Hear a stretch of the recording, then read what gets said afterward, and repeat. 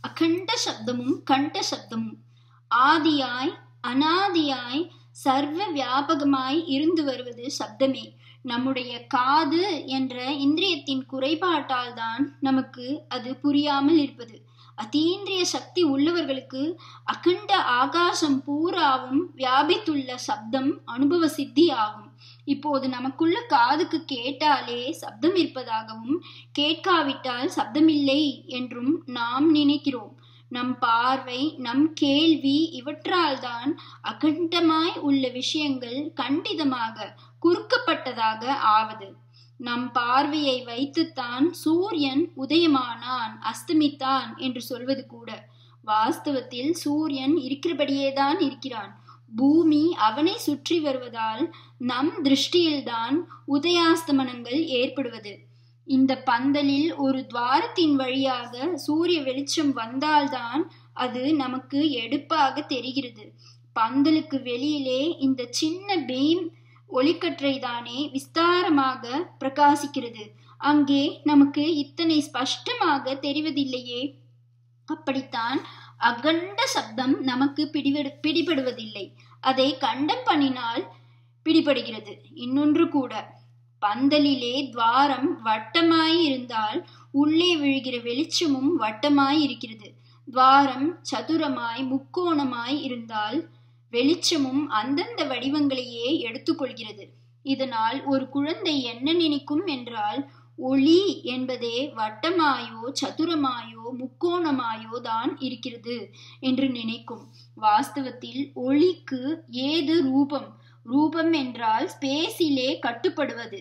ஒளியும் ஒளி மாதிரி இந்த கட்டுப்பாட்டை தாண்டி பூர்ணமாய் இருப்பது துவாரத்தின் வழியே ஃபார்ட்டி ஃபைவ் டிகிரியில் சூரிய வெளிச்சம் வருகிறது என்று வைத்துக்கொள்ளுங்கள் அப்போது நாமும் அந்த டிகிரியில் பார்வையை சார்த்து பார்த்தா சாய்த்து பார்த்தால்தான் ஓட்டை வழியாக சூரியனை பார்க்க முடியும். வேறே டிகிரிகளில் பார்த்தால் சூரியன் தெரியாது. நீல ஆகாசம்தான் தெரியும். ஆனால் அப்போது நம் பார்வை எல்லையில் உள்ள ஆகாச பகுதியில் ஒரு கழுகு பறந்தால் அதன் அப்போது அதன் மேல் சூரிய வெளிச்சம் தடுக்கப்பட்டு பிரதிபலிப்பதை பார்த்து ஓஹோ அங்கே ஒளி பரவி இருக்கிறது என்று புரிந்து கொள்வோம். அதாவது அகண்டமாய் இருப்பதை புரிந்து கொள்ள முடியாத நமக்கு அது புரிகிற மாதிரி குறுக்கி தரவும் இன்னொரு உபகரணம். ஏஜென்சி தேவைப்படுகிறது. உதாரணமாக ரொம்பவும் புழுங்குகிறது என்று நாம் சொல்லும்போது கூட நம்மை சுற்றி அகண்டமான வாயு இருக்கத்தான் செய்கிறது. ஆனால் ஃபேன் விசிறி என்கிற ஒரு உபகரணத்தை ஏஜென்சியை கொண்டு அதை குறுக்கி கண்டமாக்கினால்தான் காற்று இருப்பது நமக்கு அனுபவத்தில் தெரிகிறது. இப்படி அகண்ட ஒளியில் அல்லது காற்றில் கழுகு விசிறி போல் ஏதோ ஒரு ஆப்ஜெக்ட் குறுக்கிட்டு அதை தூண் துண்டித்தே நமக்கு புரிய வைப்பதற்கு அபிகாதம் என்று பெயர். அபிகாதம் என்றால் அடிப்பது. அகண்டத்தை டிஸ்டர்ப் பண்ணி நாம் புரிந்து கொள்ள வைப்பது அபிகாதம். சப்தமும் இப்படியே தான் அதன் அகண்ட ஸ்வரூபம் நமக்கு புரிவதில்லை. கையை ஒன்றோடொன்று அடித்து அபிகாதம் பண்ணினால் அப்போது நமக்கு சப்தம் கேட்கிறது.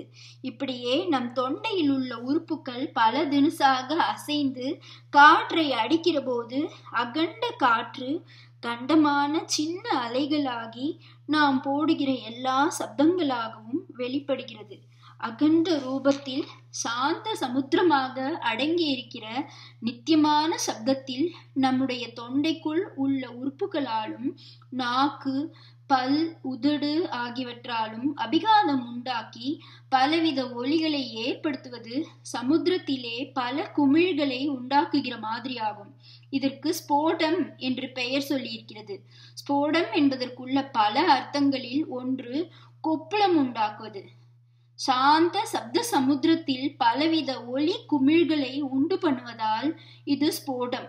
அபிகாதத்தால் உண்டாகிற சப்தத்துக்கு ஆகத சப்தம் என்று பெயர். ஆகத என்றாலும் அடிக்கப்பட்ட என்றே அர்த்தம். இங்கே அடிப்பது அடிக்கப்படுபடுவது என்று இரண்டு இருந்தாக வேண்டும். அகண்ட சப்தம் என்பது இப்படி இல்லாமல் தன்னை அடித்து எழுப்ப இன்னொன்று இல்லாமல் இருந்தால்தான் அகண்டம் பூர்ணம் என்ற லட்சணங்களுக்கு பொருந்தியதாக இருக்க முடியும். இப்படி அடித்து எழுப்பாமல் தன்னில் தானேயாய் உண்டாகி இருக்கிற அகண்ட சப்தம் வெளி ஆகாசத்தில் இருப்பது போலவே ஜீவனின் ஹிருதயாகாசத்திலும் இருக்கிறது. இங்கே நிலவுகிற பிராண சப்தத்தை அநாகத துவனி அதாவது அடிக்காமலே உண்டாகிற ஒலி என்று சொல்லி இருக்கிறது பேச்சு வாய்ப்பாட்டு வாத்திய சங்கீதம் என்று எதுவானாலும் நாம் ஆகதமாக ஸ்போடத்தின் மூலமே சப்தம் உண்டாக்குகிறோம். க ங ச ஞ என்கிற மாதிரி அக்ஷரங்களாக இருக்கிற பல சப்தங்கள் உண்டாக்குவது ஒருவித ஸ்போடம். சப்தஸ்வரங்கள் என்னும் சப்தங்களை உண்டு பண்ணுவது இன்னொரு வித ஸ்போடம். நாம் பேசும்போது சப்தஸ்வரங்களோடு சேர்க்காமலே க ங ச ஞ முதலான அக்ஷர ஒலிகளையும் உண்டு பண்ணுகிறோம்.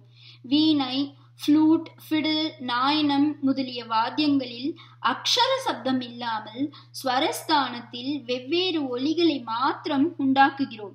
அக்ஷர சப்தங்கள் கொண்ட பேச்சு மனுஷ வர்க்கம் ஒன்றுக்கே உரித்தானது.